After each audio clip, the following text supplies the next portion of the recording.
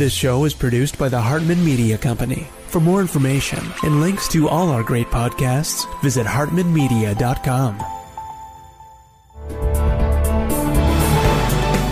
Welcome to the AIPIS show for accredited income property investment specialists and those who aspire to be. If you're a real estate, mortgage, or financial professional, this is the place for you. We'll explore innovative investment analysis, sales, marketing, and income generating strategies for the most historically proven wealth creator, income property. Learn from the experts as they show you how to build a better business and a better life. It is my pleasure to welcome my good buddy Joseph Brown, who is with Heresy Financial. He's got that fantastic YouTube channel that a lot of you watch, including myself. Want to just bring him on today to talk about the crazy, tragic events we have going on in the world, but also to talk about some broader topics as well. Joe, it's good to see you. Welcome back. Hey, thank you so much for having me. Really appreciate it. Good to have you. So let's start off with conflict that's obviously been going on in Eastern Europe with Russia, Ukraine. We have Israel. Things are getting pretty hot in, with China and Taiwan. The world is becoming a pretty unstable place. What are your your current thoughts on that? Yeah, I mean, number one, uh, it's it's really devastating. It's it's very easy, I think, as an American to uh, to be emotionally isolated from uh, from what is going on, and uh, specifically from the death and suffering. And when that happens, um, I, I, think it can be really dangerous for the decisions, especially that policymakers are making, uh, because throughout our whole entire history, we have rarely ever had to deal with blood on our own soil, war on our own soil, um, outside of the Civil War, which was you know self inflicted. So when we see stuff like this happening around the world, it's you know easy to beat the war drum, and I don't like to engage in things that people uh, typically look at as feeling like conspiracy conspiracy theories. But uh, because many times when you look at you know government involvement in things it's like is that the result of incompetence or is that malevolence? And for it to be the result of malevolence you have to have a high degree of competency. You have to have a high degree of organization um, so many people involved and you just don't get those types of people and results in bureaucracies, especially the large ones like governments. And so I do typically like to chalk things up to incompetence more often than not. But one thing that you know you've always said is uh, as long as war remains profitable, we're we're there gonna will never it'll never peace. end. Yeah. Right. Well, ne- right. there will there will never be peace, and especially when it's profitable for the people who are making the decisions. Yeah. So just within the last few months, you look at the trades made by members of Congress. They've been investing heavily in defense stocks. You look at what's been happening with Ukraine, the tide of public sentiment has been shifting. More and more people were becoming fed up with the amount of money being sent to Ukraine funding, you know, that proxy war. And wouldn't you know that 4 days after the government shutdown was averted by stopping the funding to Ukraine. We Republicans gave Democrats everything they wanted, no spending cuts outside of cut the funding to Ukraine. 4 days later, this whole thing blows up in Israel. And hmm. within a couple of days after that, there's already a bill to send $2 billion to Israel. And the slush fund for the military industrial complex just doesn't stop. And it's shocking to see the amount of bipartisan support for this war, politically speaking. And so the more we have the decision makers with no downside to war and a lot of upside to war, we're gonna we're gonna continue to see more of it. Yeah, and you know, the obvious sort of level one thinking on this stuff is the military industrial complex, right? We all know that war is extremely profitable. But after that, we have so many other prof- war profiteers, right? We have right. all of the big construction companies, the companies that do the rebuilding, the medical industrial complex. I mean, there is just, it's just on and on and on the profiteering. There are just too many entrenched interests, and especially when, since the US is the biggest provider of the military equipment to a lot of these countries, right? Our defense contractors are becoming extremely rich because, you know, a lot of that stuff isn't outsourced because of security clearance issues, right? Right. So it, it is made in America, okay? If we can avoid sending American troops and fight these proxy wars, that's just kind of a good financial deal for the profiteers, right? That there's no American blood and lots of money coming in. But obviously, that increases the debt levels and so on and so forth. But I'd like to talk a little bit about, you know, how this affects people on a personal level. And I don't mean obviously the loss of life and the devastation mm-hmm. and so forth, but financially speaking, this pushes the price of resources and commodities higher because war is just massively destructive. Things blow up the amount of fuel, the amount of supplies that are used in weapon systems is astronomical. I mean, right. it's just unbelievable. The environmental damage is insane.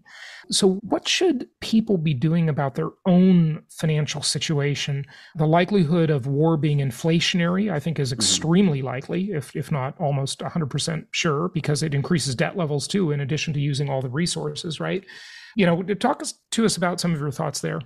Yeah, absolutely. Okay, so let's start off with just the basic understanding of what inflation is and what causes it. So, within economics, it's always ceteris paribus, which is all else being equal. And so, let's say we doubled the money supply, that would drastically increase prices of things, all else being equal, because now you have more money floating around. So, it takes more money to get the same amount of stuff.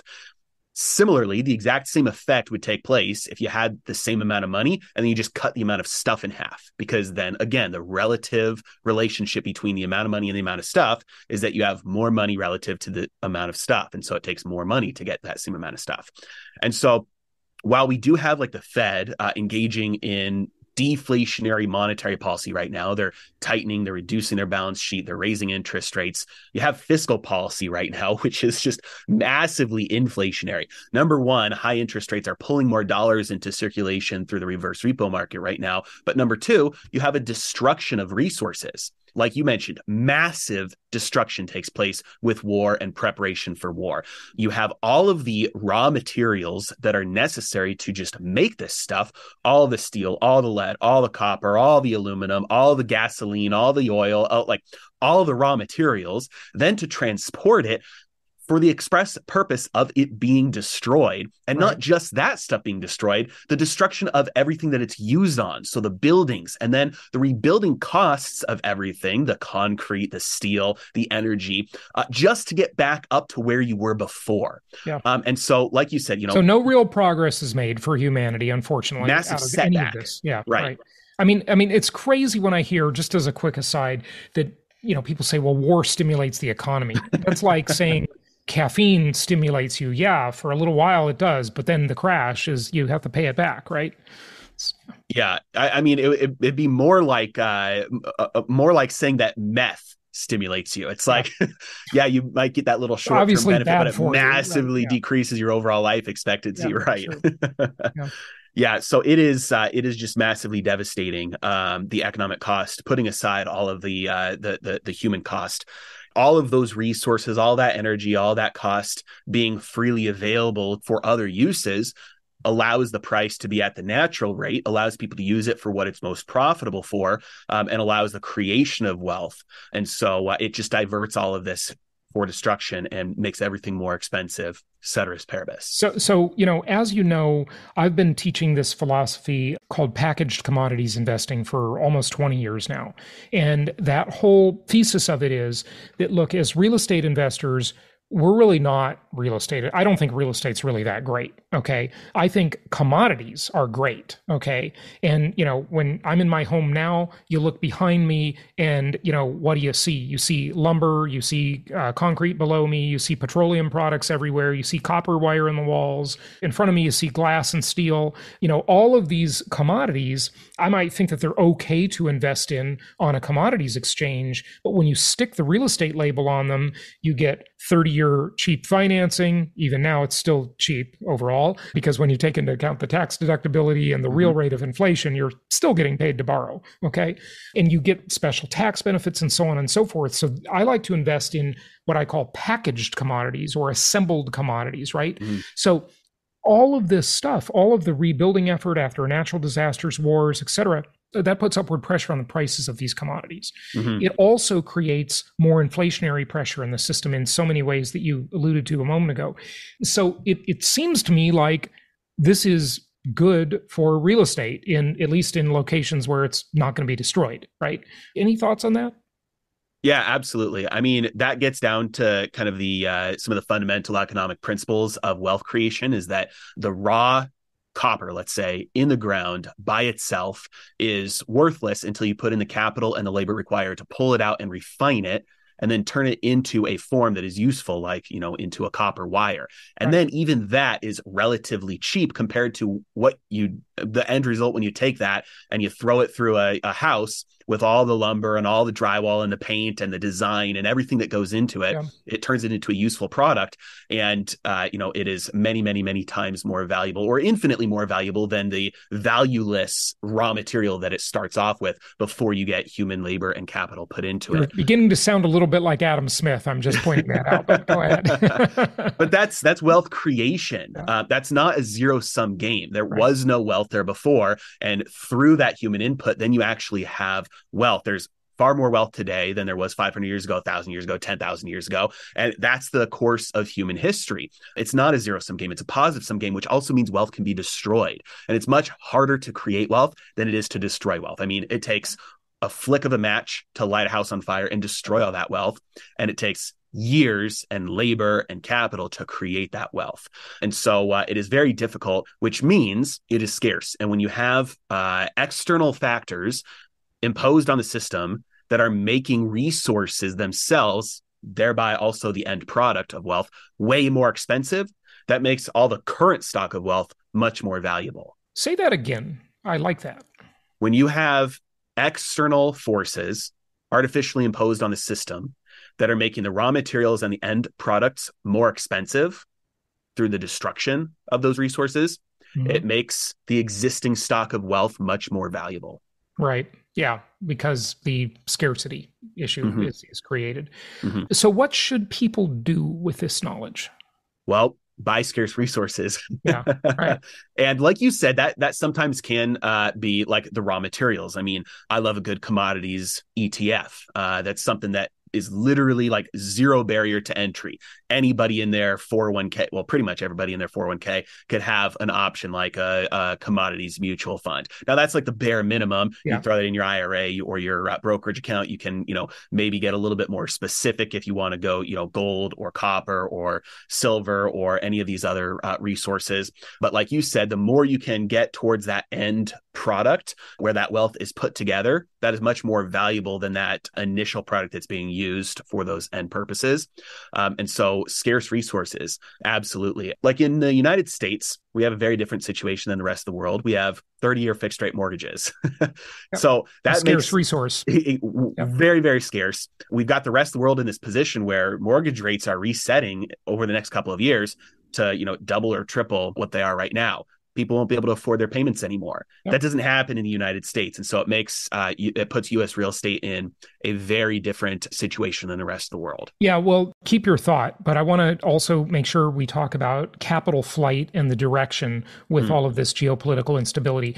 But go ahead. Yeah, I, I've always said I think the American real estate market is very special. I would love to be talking about investing offshore and you know all of these opportunities. I've looked at a zillion of them. I never find them to be as good though. Yeah. Yeah, I mean, there's there's certainly some reasons to diversify throughout the world. I mean, just look at the stock market. The U.S. stock market is not always the best performing market around the world, and so get some international diversification.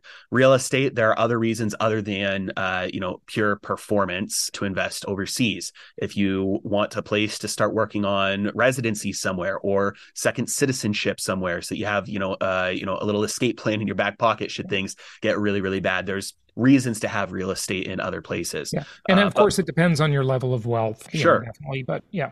Yeah. I, yeah. I, am very versed in all of those options, by the way. I've investigated them thoroughly. I'm leaving for Brazil in a couple of days. When I was just in Colombia, I was, mm-hmm. you know, talking with lots of experts there about visas and citizenship and bank accounts and sure. brokerage accounts and all of this stuff. I've done that in many, many places I've visited. You know, I, I know a lot about the, the passports and stuff like that. Um, but so, but I mean, you're you're the best person as well then to confirm that typically those other reasons are specific for those other purposes. And if your goal is, uh, you know, the creation and the preservation of wealth through real estate, typically it's going to be it's going to be U.S. Um, and that's why we have so much foreign investment in uh, in U.S. real estate as well. Yeah, so FDI in the US has always been extremely high foreign direct investment because, mm-hmm. you know, the US has always been considered the Brinks truck of the world. It's where you've got, you know, good rule of law, political stability. You know, there's a lot of reasons to be concerned about what has been going on the last many years, but compared to what? Mm-hmm. I mean, like show me a better option and believe me i'll be there you know um, in a in a new york minute yeah. but uh, i just i just don't see really better options when you look around the world you know yeah and there's a good argument to be made that uh, that will continue for quite a while, especially given what's happening geopolitically around the world right now. Yep. The uh, the increase of war. I mean, there's there's some parallels that we can see through, from World War II to what's going on right now. The American escalation of war around the rest of the world, it's very, very possible, if not likely, that the devastation, economically speaking, around the rest of the world will number one, drive more capital into the states. Right. Number two, drive more immigration into the states, which a population increase is absolutely necessary for economic growth. I don't care what anybody says. And, and more demand for real estate. Exactly. exactly. Many of those immigrants are not being counted uh, right now uh, when looking at uh, population stats and they all need a place to live. And so the the stuff going on around the world right now, very reminiscent of uh, World War II, bringing you know increasing manufacturing in the states because of the war effort, economic destruction around the world, uh, capital flows into the United States. And so, given what's going on, I I wouldn't be surprised to see that continue for a lot longer than many people mm-hmm. expect. Yeah, yeah. Okay.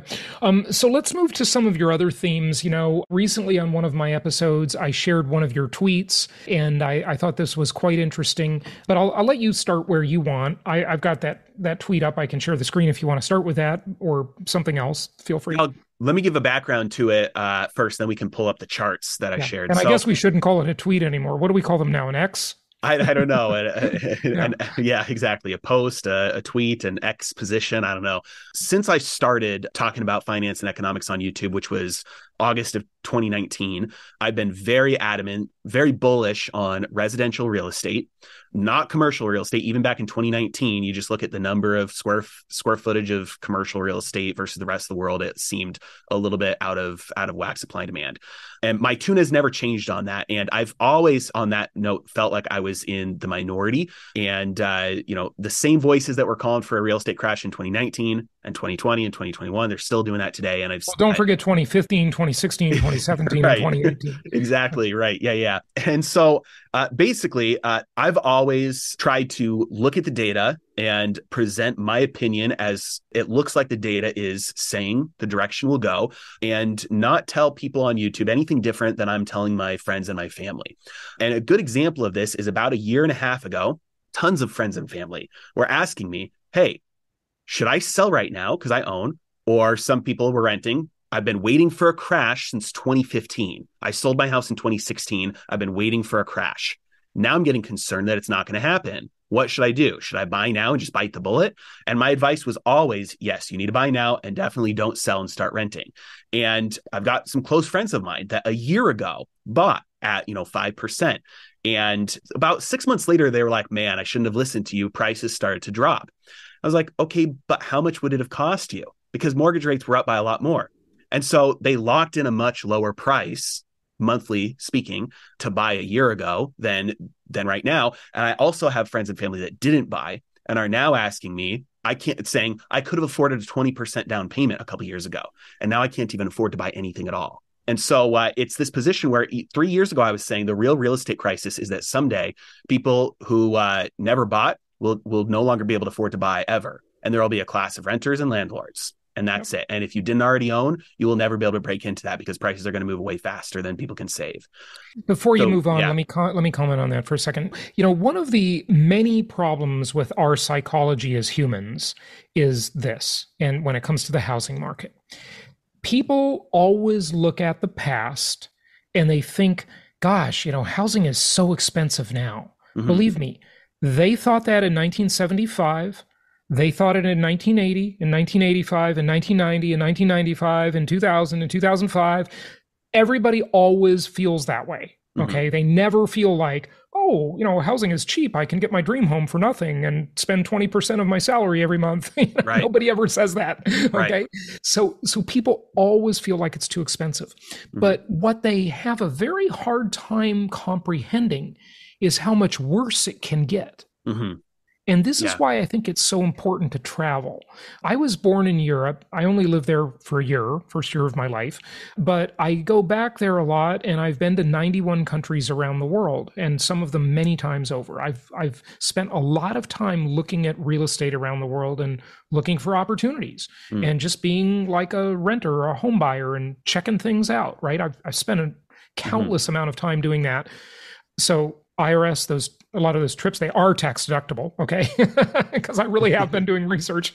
Um, sure. and what i find is that people just don't know how bad it can get how expensive yeah. housing can really be.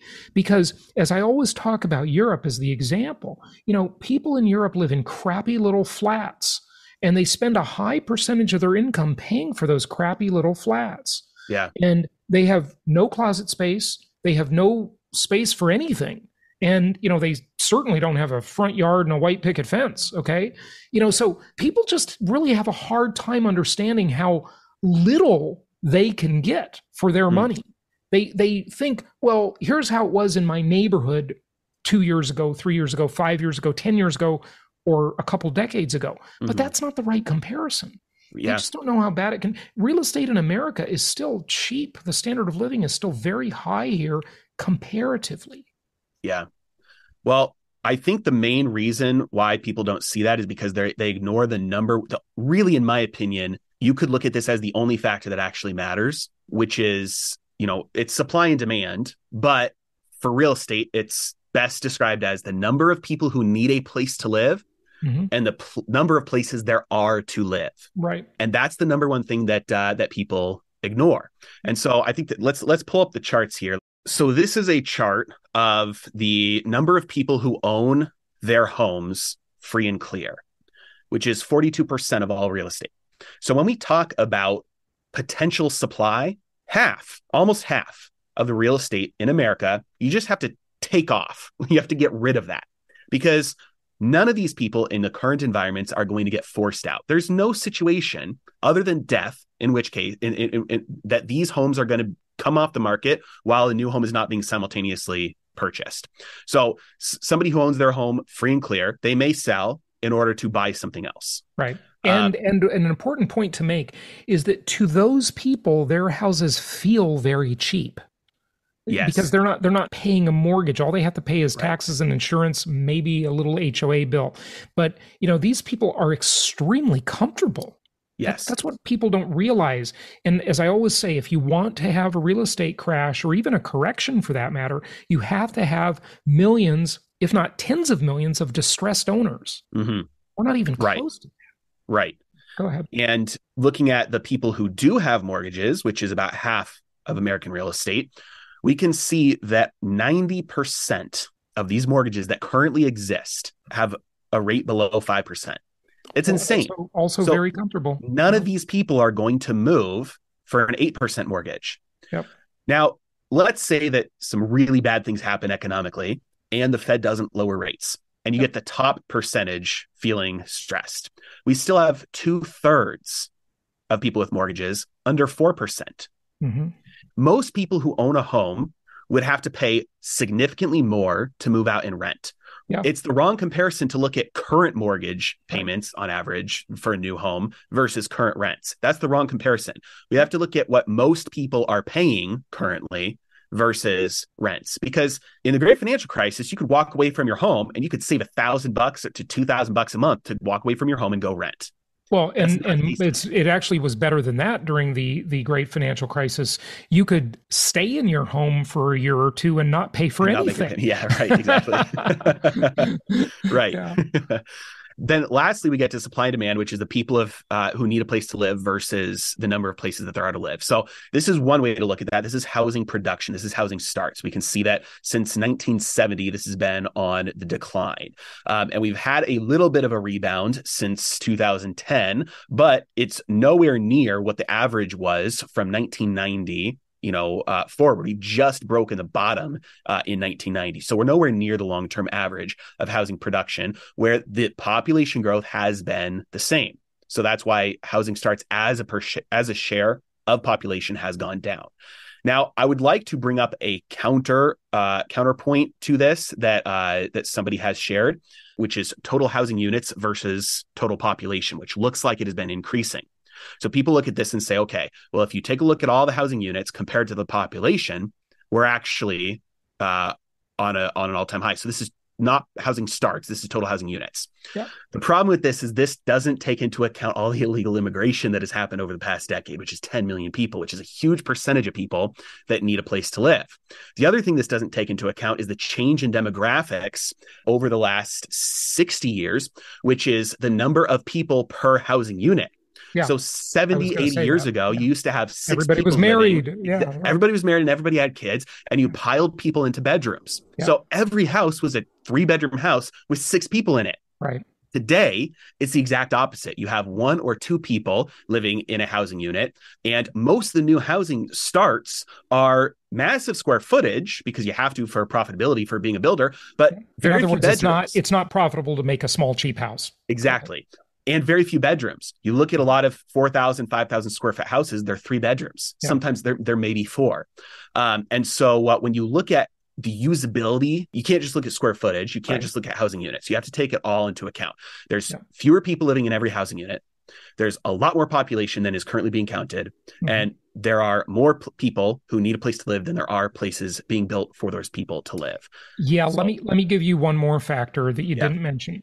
A lot of people look at population and the birth rate has definitely been declining. There's no question about it. Mm-hmm. Looking at population growth over the past decade or two is not an accurate way to look at it. What you've got to look at is the population growth that happened 30 to 36 years ago because that's household formation today. Mm. So you've got to lag that by over three decades. Millennials love to compare their lives to their baby boomer parents' lives and whine about how bad they have it, right? right. But that's really a very inaccurate thing. I mean, you know, they've got some valid complaints. I'm not going to totally dismiss it, but the millennials are on the slow life plan. So mm-hmm. everything they do is about six years behind schedule. Mm. So if you want to compare your baby boomer parents at age 30, you have to look at yourself at age 36 millennials okay and if your life is comparable in terms of your financial life then you're not getting a raw deal Okay. So that's the comparison. Then millennials will say, well, you know, our parents didn't have student loans. And, you know, they're right. Uh, college is, is a scam. Okay. It's a, it's a ripoff. Mm-hmm. But guess what? Your parents did have that you don't have is a huge expense children. okay. Right. um, you know, and uh, I would venture to say that children are more expensive than student loans. Uh, long overall. term. Yeah. So, yeah. you know, I mean, you're having children, but you're doing it six years later. You're mm-hmm. doing everything six years behind schedule. Okay. You know, yeah. you were all digital nomads for six years. You saw the whole world. Your parents didn't get to do that. Okay. So, you know, it's just different. Right. Yeah. So, well, also that, you know, a lot of people say, okay, well, that six year lag makes a huge difference in the amount of wealth you can accumulate over a long lifetime. But the other thing about that is that by and large, the younger people have not entered into uh, home ownership yeah. yet. Well, so, that's that's that was one of my points. Is home? Right. I didn't say it, but home ownership, marriage, household formation, you know, whatever. Right? It's yeah. six years behind schedule. Right. Yeah. And so there's a bunch of pent up demand. Like you know, th- some of this is statistical, but some of this is anecdotal as well. There's a yeah. bunch of pent up demand from people in their 30s and young 40s who have been waiting on the sidelines because they thought it was going to crash. And the moment it becomes affordable again, they'll buy. There's a huge amount of people who are renting that would prefer to not rent. Right. So that's called shadow demand, Mhm. right? During the Great Recession, we heard a lot about shadow supply or shadow inventory because there were homes being held off the market or that were in the foreclosure process. It was moving very slowly and they didn't come onto the market. Right now, we have a lot of shadow demand. We, you know, we have a lot of millennials that have been living at home or, you know, don't even have a place to live because they're traveling, they're being digital nomads. But, you know, that gets a little tiring at some point, or they have roommates and they're ultimately going to split up and, and form their own household, even if mm-hmm. it's a solo household, okay, with just themselves. So these factors are different and they warrant peeling back the onion and i'm glad you're doing that show so what else do you want to share from this? You know what i liked about it is everything you've got to weigh the probability right? And at the end of your very long x post you basically say that look the possible downside to waiting is less than the possible upside right? It or I don't know if I said that right. Anyway, the point is that there's a higher risk you could be suffering more and your affordability could actually get worse because if interest rates come down, it's going to cause prices to go up even more. I mean, it's surprised everybody that prices have appreciated during a time when the cost of money has tripled.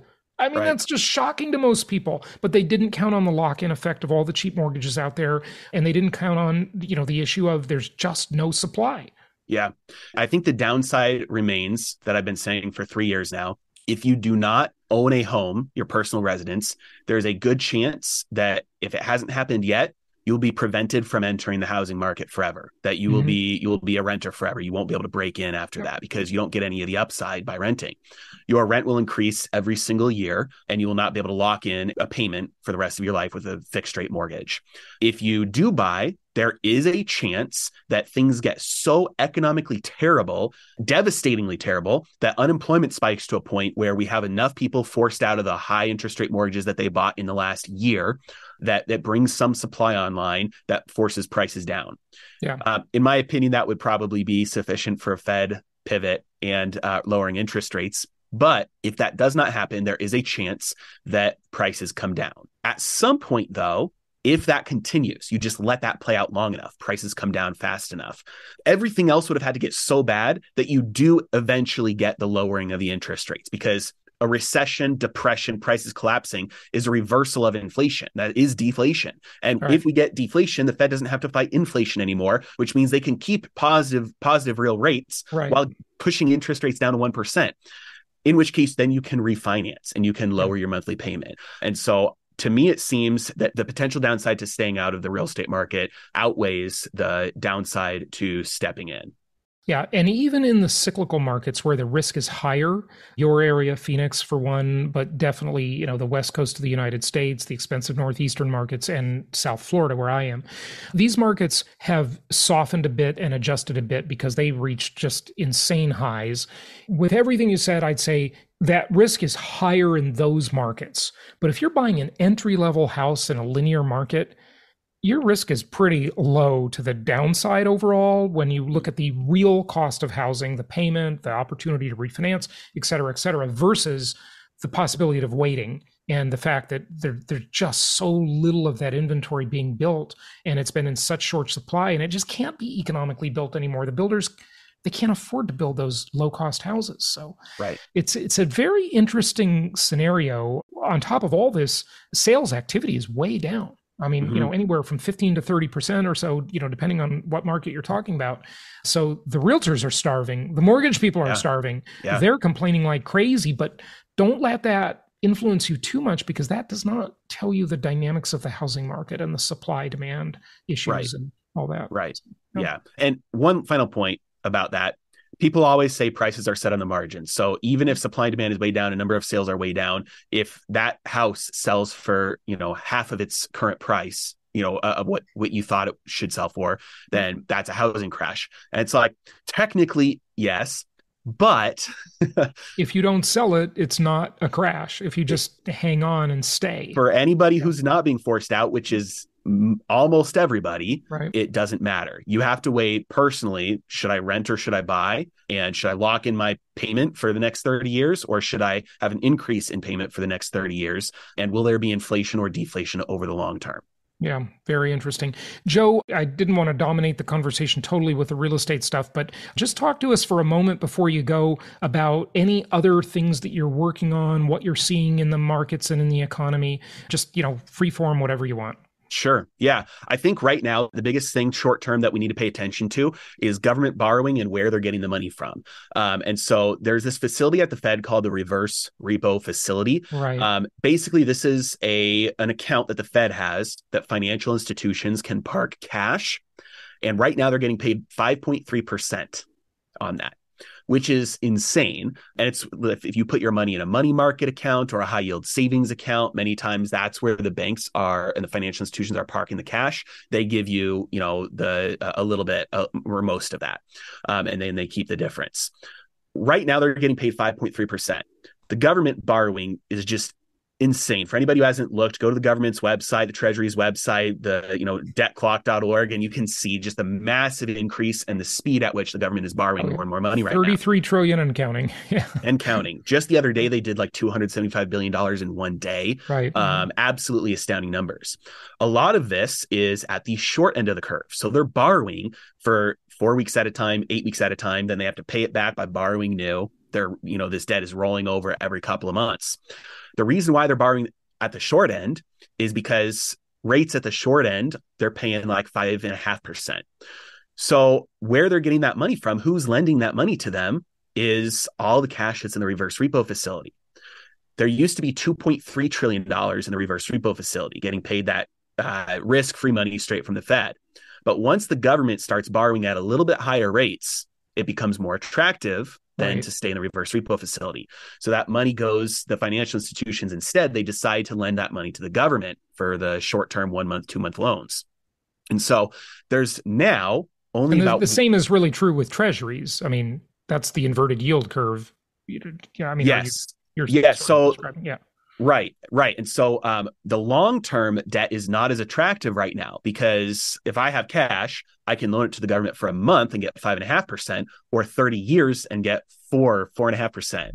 So it's like, why would I take right. on that risk of loaning for 30 years sure. when I can get yeah. a better return for only uh, one month? Right. And so that's where all the money is going right now. And they're getting it primarily, it's coming out of the reverse repo facility. To give you a picture of the amount, the reverse repo facility had $2.3 trillion in it six months ago. Today it has $1.3 trillion in it. So in six okay. months, $1 trillion has left the reverse repo facility and been lent to the US government instead because it's just attractive enough. At the rate at which the government is borrowing, it has, in my opinion, at most six months left before all the money decides to leave the reverse repo facility and lend itself to the government instead. But once that happens, there's no additional cash in the system to do that. So government borrowing rates skyrocket after that. So short-term government, which, by rates, the way, yeah. I'm so glad you mentioned that. I think that's one of the big pressures for a Fed pivot. Am I mm-hmm. wrong? Well, will be yes. I mean, the government I, doesn't want its cost of borrowing to be high, right? Right. Yeah, the, the, technically, I mean, the government doesn't care about its cost of borrowing as long as it can continue to borrow because it just borrows more to pay off that high cost debt. Um, you know, some would call that a Ponzi scheme, right? or check kiting. It's more like exactly. check kiting than a Ponzi yeah. scheme. But yeah, right, right. I don't even know if anybody knows what check kiting is. But in the old days, probably not. But in the yeah, you, you used to be able age, to yeah. write a check, and it took you know five days or a week or even two weeks uh-huh. to clear, and then someone could write another check. This was illegal, okay? Uh-huh. And you could write another check, and before it cashed, you could just move these checks around and and never pay the bill. But, right. Yeah. Yeah. Some big schemes played on the back of that. Right. Um, so the the point at which they do care is when they go to borrow at let's say 6%, 7%, and suddenly there's nobody there to lend to them. And so government debt goes no bid. So mm-hmm. rates skyrocket to 15, 20, 30% because there's nobody, no cash left to lend to them. Right. That's when the Fed does step back in, either by choice or by force from the government to print the money to lend to the government. That's when the pivot happens. But until that point, rates are going much, much, much higher. And that translates to higher rates for everybody else. So long term, we definitely have inflation because there's no other way than printing that this is going to be resolved. So definitely inflation long term. We could see some very big dislocation and massive trouble in the treasury markets short term ahead of that. Interesting. One last thing for you, Joe, and I appreciate you sticking around for this, but that is the yield curve because you've mm-hmm. kind of alluded to it here, or at least I did. So many will say that yield curve inversion predicts recession. Mm-hmm. And that may be true for an overall recession that, you know, hasn't been officially declared. And it's certainly hard to have a recession when you the unemployment market is just like a non-issue, you know. So but some people kind of confuse it when it comes to housing because they, they said, yeah, oh, inverted yield curve, inverted yield curve. That means the housing market's going to crash. I don't think any of these 90% of the country with mortgages at sub 5% rates or 42% of the country with no mortgage at all they don't care about the yield curve mm-hmm. you know like right. like why are we talking about this sort of obtuse thing they yeah. care about their payment is cheaper now than it would be if they do something else by yeah. a long shot it's cheaper yeah. so you know do you want to comment on the inverted yield curve yeah, absolutely. I think it's uh, a big sign of economic pain that won't hit the real estate market. And the reason why is exactly what you just said, because American households are loaded up with debt. So you take the half of Americans almost who have no mortgage, and you take the you know uh, the huge percentage with mortgage rates under four percent, and then you look at their budgets, you look at their credit card balances, you look at their car loans because they haven't had this mortgage debt. They're still highly leveraged. And yeah. so when push comes to shove and people no longer are able to afford to pay all the bills, they're going to stop paying their credit cards first. Then, if push comes to shove, they're going to stop paying their car loans.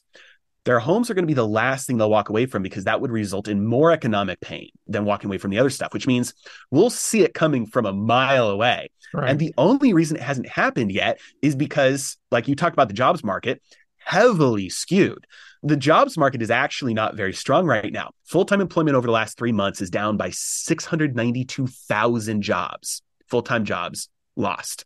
Jobs are increasing because people are replacing those full time jobs with multiple part time jobs. Yeah. So it's the gig economy. Sure not only that, but the struggling households, you're working at McDonald's and you're working at Taco Bell and you're working at Wendy's. So you right. look like three jobs to the establishment, but yeah. it's only you and you're working way more just to make ends meet. Right. And so the stock market, heavy risk to the downside, lots of economic pain coming, but the housing market is going to be almost fully insulated from that because nobody's going to walk away from that first. You're going to let your expensive stuff go first and they've got 28 years left on those cheap mortgages so exactly. it's uh, it's not going to cure itself anytime soon but one of the things i do want to say about the jobs issue and i've heard that analysis before of course just like the cpi or all the government stats you know i had john williams the founder of shadow stats on, on my mm-hmm. show before and you know I, I get it but a lot of jobs aren't counted also okay and right. that is because of the gig economy so if someone's yeah. making money with uber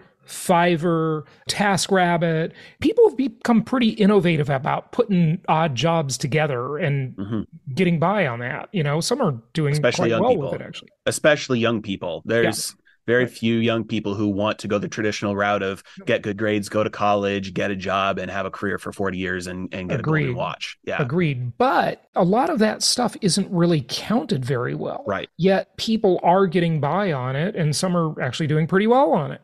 You know, it's a big issue because the IRS in the last year to two years has started to track and look at and require reporting for payments above $600. Right.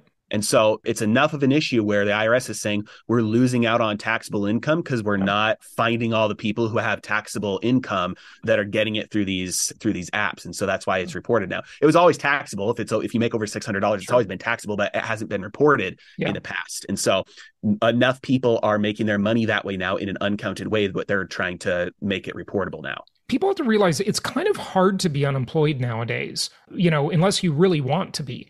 If you're just a slacker, then okay, you can be unemployed. But there are so many ways you can easily earn money nowadays with the gig economy. It's it's just pretty great actually. Yeah. yeah. Yeah, that, that's a great way to to finish it off. Is that there's this quote by Thomas Babington Macaulay. I believe that I, I might have his name wrong, but I think it's Thomas Babington Macaulay, where he says, "On what basis can we look back throughout history and see nothing but progress up until this point, yet confidently say that we have nothing but destruction and gloom in the future ahead of us? Mm-hmm. Yeah. Statistically speaking, we are better off today than any people on earth has ever been throughout history. Mm-hmm. And the likelihood is that that continues. And while there may be hardship in certain places, for some people, that's not going to be the norm, and it never has been. Humans are have have a, a, a knack for figuring out ways to make things better. Yeah, and that's true today. And all you have to do is look at things as opportunities rather than problems to start taking advantage of it. Yeah, that's that's a great point, Joe. I appreciate it. Give out your website. Of course, people can find your great YouTube channel, but give out your website too. Yeah, YouTube channel is Heresy Financial. That's where I put out everything, you know, a couple times a week, put out videos. And then I run Heresy Financial University. So heresyfinancialuniversity.com for uh, more in depth training. Excellent. Good stuff. Joe Brown, thanks for joining us. Thanks for having me. Thank you so much for listening. Please be sure to subscribe so that you don't miss any episodes. Be sure to check out the show's specific website and our general website, hartmanmedia.com, for appropriate disclaimers and terms of service. Remember that guest opinions are their own, and if you require specific legal or tax advice or advice in any other specialized area, please consult an appropriate professional. And we also very much appreciate you reviewing the show. Please go to iTunes or Stitcher Radio or whatever platform you're using and write a review for the show. We would very much appreciate that. And be sure to make it official and subscribe so you do not miss any episodes. We look forward to seeing you on the next episode.